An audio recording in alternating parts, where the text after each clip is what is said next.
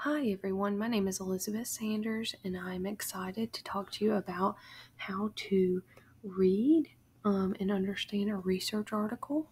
Um, the, the research article I chose to use is a study to evaluate the social media trends among university students, and I'm going to go through a bulleted section.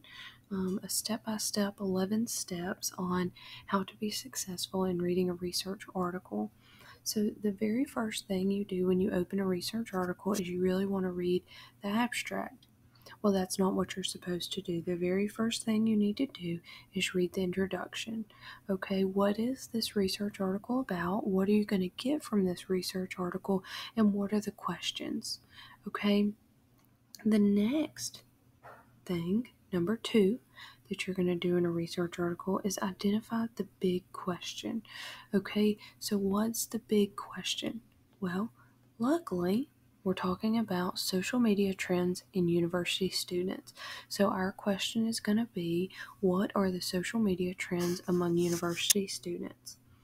Okay, number three, summarize the background in five seconds or less. All right, what is our background?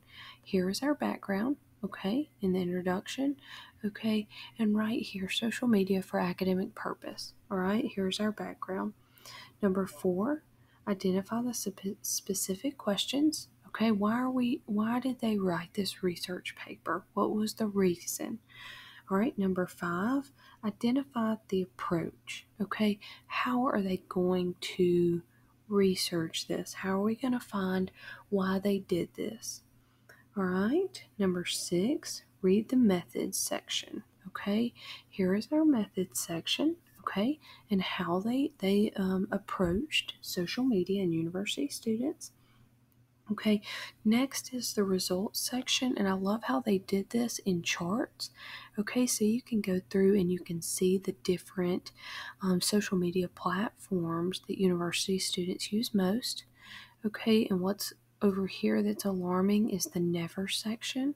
Okay, so this is the frequency of social media in university students. There are zero students that never read social media and get on social media.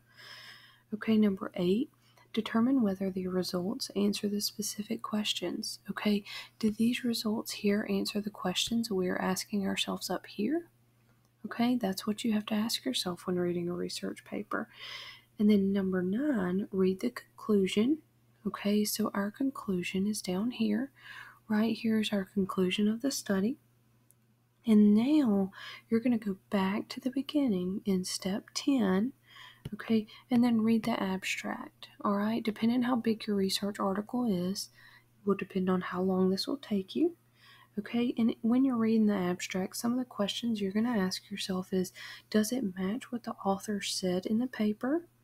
Okay, and does it fit with why you chose to read that paper? Okay, I chose to re- read it because I am a university student and I wanted to see what the social media trends were.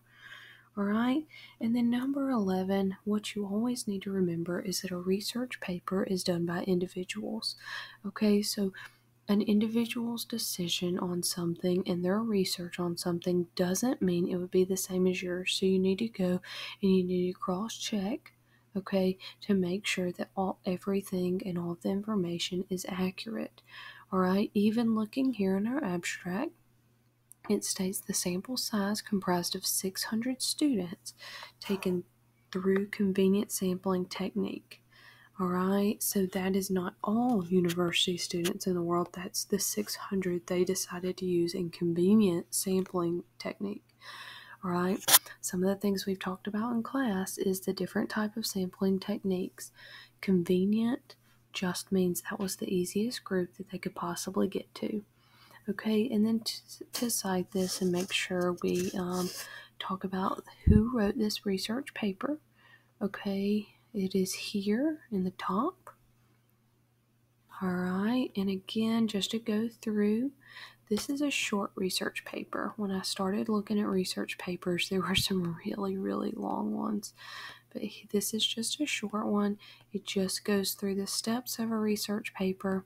And what I did is I went through the steps of how to read and interpret a research paper. Here is all the citation for you to make sure all of that is referenced. Thank you. Bye bye.